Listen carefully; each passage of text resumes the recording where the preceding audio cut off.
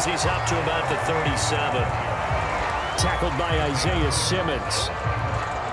That was a really nice job by them picking up the run blitz and detecting it and blocking it and turning it into a nice run.